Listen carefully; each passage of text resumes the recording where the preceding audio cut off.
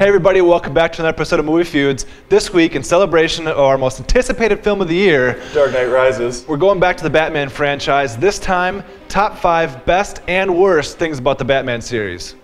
Also, stick around to the end of the video because we've got a sweet contest going on that's uh, related to the Batman film. What are we giving away? A Batmobile?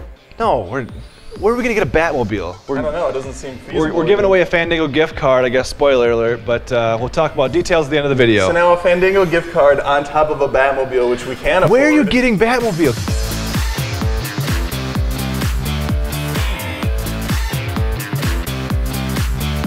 So let's start on the negative and go with the number five worst thing in the Batman series, and that's Mr. Freeze puns from Batman and Robin. Those are ridiculous. Ice to see you. Get down! Cool out. Welcome to the party, pal. Wait, You're not even doing the right movie. No, I'm not even doing puns.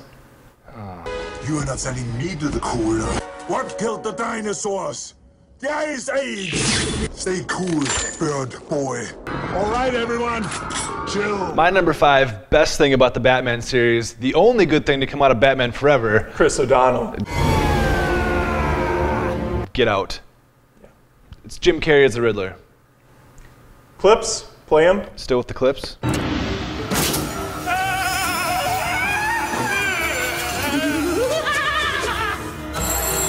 I'll send you a riddle. The Riddler. Back to the Crabtastic list, we got the number four spot going to Catwoman, the spin-off from the Batman series. That movie sucked so bad. It was really disappointing when you see it on TV and you're like, oh, good, Batman. Then there's just nothing. Somehow they made Halle Berry look ridiculous in the costume, uh, on top of the cheesy puns like "chill out" and I used to see you." Wait, now you're doing the Mr. Freeze puns? If on. My number four most awesome thing about the Batman franchise so far is definitely Michael Keaton as Batman. First in the 1989 original, and then again in Batman Returns. He didn't even need to fight in those movies. He just he just was badass. I don't know if it was the jawline, if it was the eyes. There's something about him. Just eat him up, just gobble him up. Wait, what?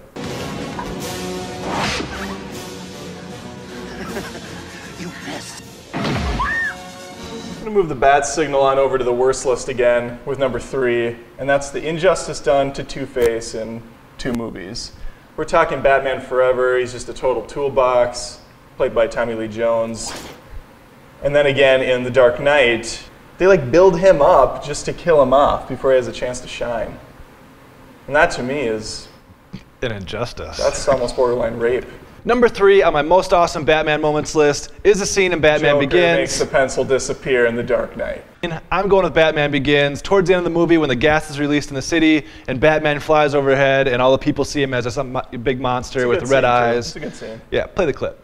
Oh, Now now you're doing that? It's not who I am underneath, but what I do that defines me. Bruce?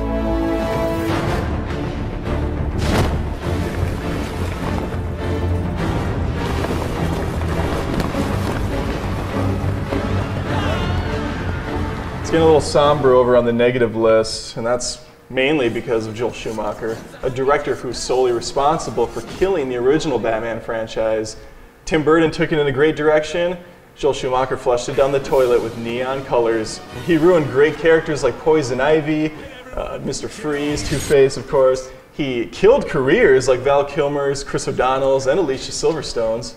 Little known fact is uh, Val Kilmer just retired from movies after doing Batman Forever. Unofficially, and then he came back later as Fat Kilmer, much like Alec Baldwin did, Sir Alec Baldwin. Sorry. He's not a sir. In a Joel Schumacher film, it all comes together. We're going to need a bigger cave. Batman and Robin. Cruising up to number two on the most awesome Batman moments in history. It's the Batmobile, 1989 original movie. Michael Keaton in the Batmobile. A lot of gadgets, a lot of crazy shit. It's amazing how they took that original campy Adam West vehicle and turned it into something awesome, and then later ruined it and made it a Hummer. We're getting to the bottom of the list here on the worst. Or the top. Or the top. Nice. And that's the number one spot. It's hard to even choke down the words, but there's only two, and that's George Clooney. Followed by a lot more words that I'm going to say now because I have a lot of bad to say about this guy. I mean, he's not even a good actor. Why is he a, why is he a thing still? I mean, I would have rather saw Danny DeVito as Batman than George Clooney. Hi, Freeze. I'm Batman.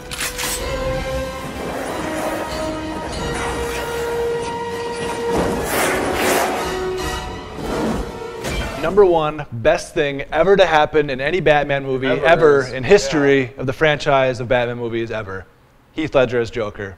I knew it way back in 10 Things I Hate About You. Thought to myself, that, kid kid's gonna be a star someday. He's gonna go really far in life. I can't wait to see what he does next. You've said that before, Have I? a couple times.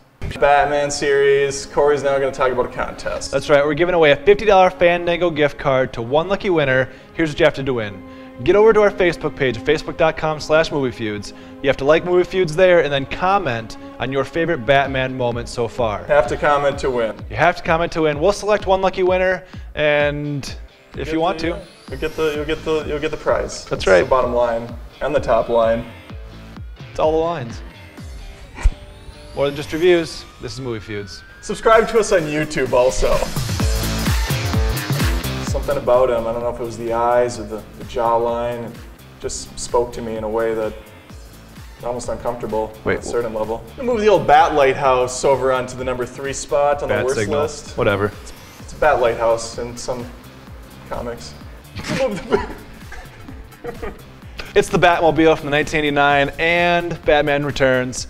That thing became an icon after Adam West kind of made it a campy little. I like how you said, and Batman Returns. Well, I, I was, I was gonna not say it because I've been saying it every time. And then again in Batman, you know, Dark Knight Rises, he just doesn't get any justice. He's Dark Knight Rises. Dark Knight penetrates. Dark Knight, just that one. I'm gonna move the bat signal. As soon as I saw that kid, 10 Things I Hate About You, I knew that kid, kid's gonna be a star someday. someday.